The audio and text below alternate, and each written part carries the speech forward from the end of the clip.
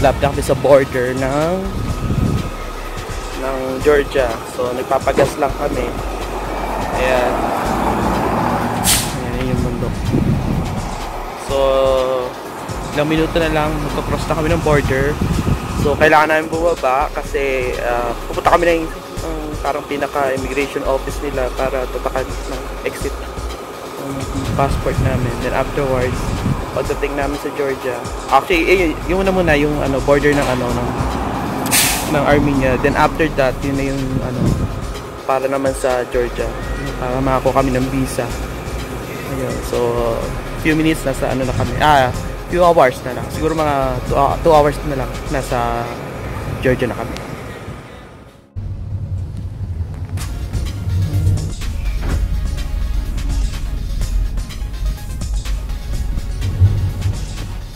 Ayun, nakalusot na ako sa ano, sa border.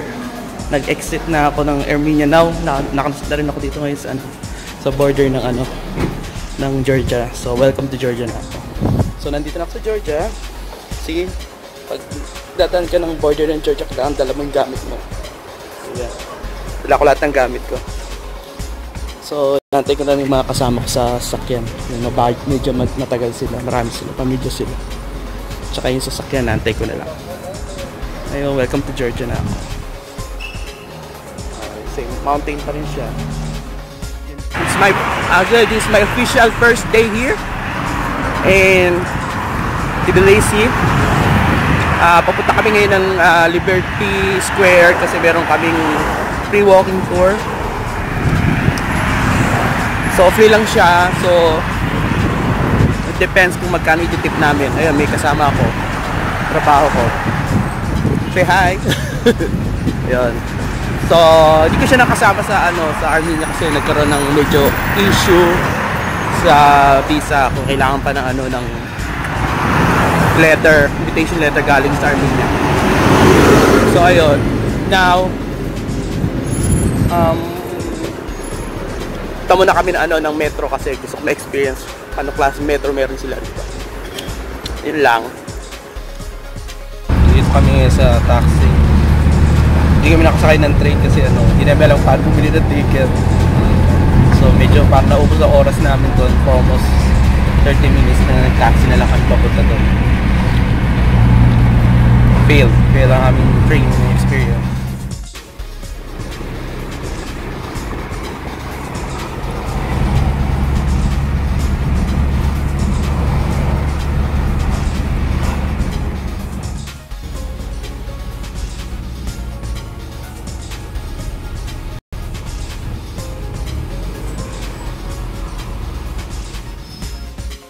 Ay, nandito na kami sa may Pushkin Park. Pushkin Park, ah, dito sa may Liberty Square. So, ito yung parang, ah, ah, yung pinaka-independence area nila. So, natin, ito na yung ano namin, guide namin. Ayan, yung babae, si ah, Tamara. So, hinihintay na lang namin ibang dumating. Then, magigit-ikot na kami sa city. Ah, city tour ang gagawin namin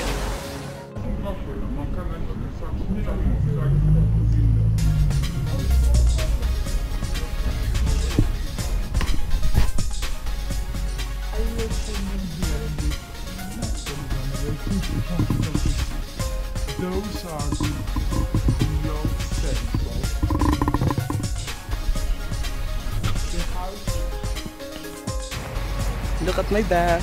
Ah! See? Beautiful Tbilisi.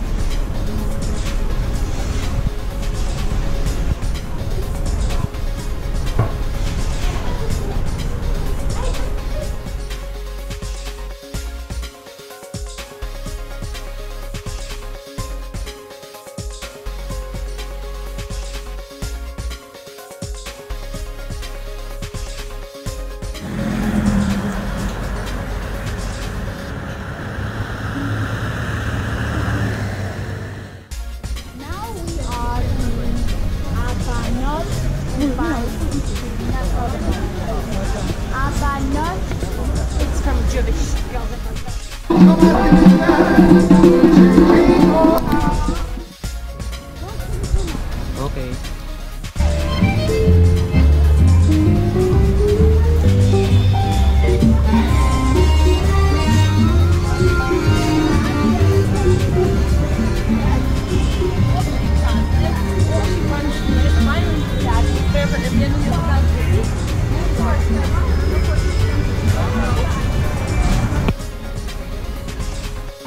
Ah, dito ako ngayon sa may tram. Okay. Dito kami sa taas. Doon sa may Fortress. Ay, si Chanaka. Chanaka.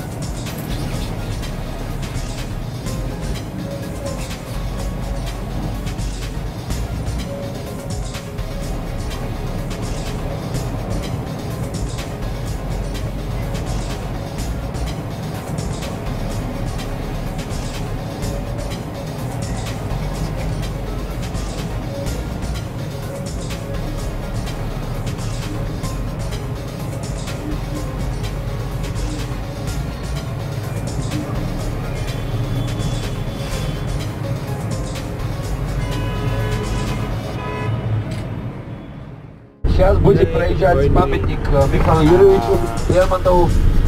Так что Ngayon sa ano, sa, sa Сири, он minivan. именно писал про этот А, монастырь. Поэма Meron Сири, kaming ano, Лермонтов. ah, Вот посмотрите tour направо. sa Вот он, памятник Big. Лермонтову. So it's a mountainside in northern part of Georgia. So ayun. So yun, grabe. Almost full day travel. Uh, full day tour kami ngayon. So I'm gonna take a lot of fun today. Pictures. To the highway, another one. So we also will be able to see Tuxtla City itself, like we will be passing through. Вот мы уже выехали с самого Тбилиси, с населенного пункта Тбилиси. А, сейчас будем уже ехать по трассе и скоро доедем уже до того места, где будет, будет видно монастырь Джвари и город Хета. Раньше Грузии, до 2008 года.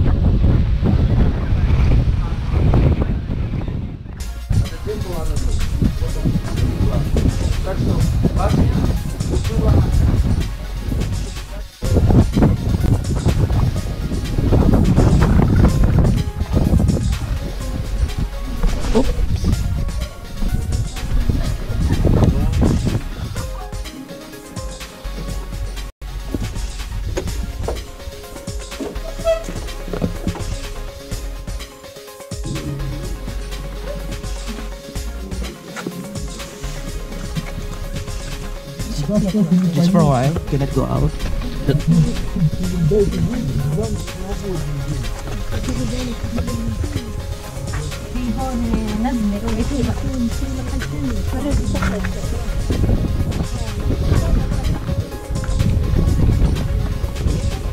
Just for a while.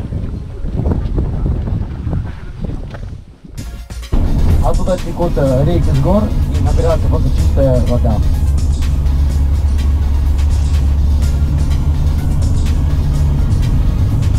So guys, this tunnel was uh, built by German people in the 40s.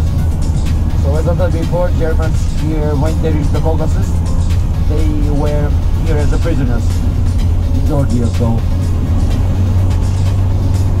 Georgia people made them to build everything around here.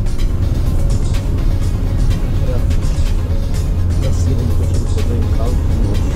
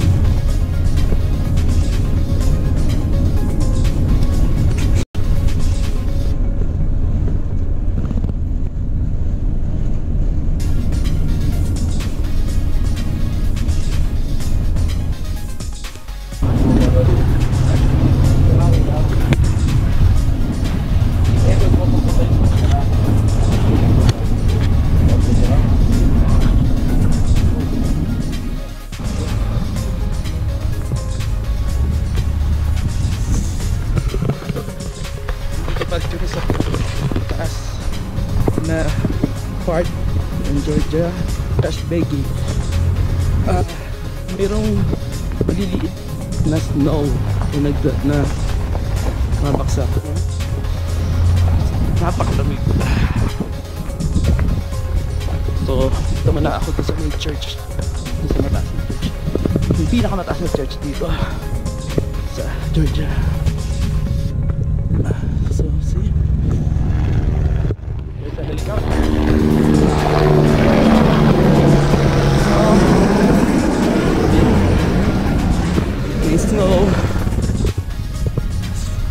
So,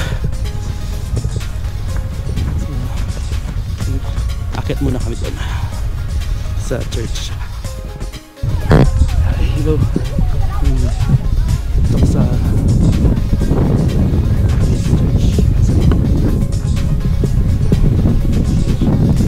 So, yun kami namin nakababa. Medyo cloudy.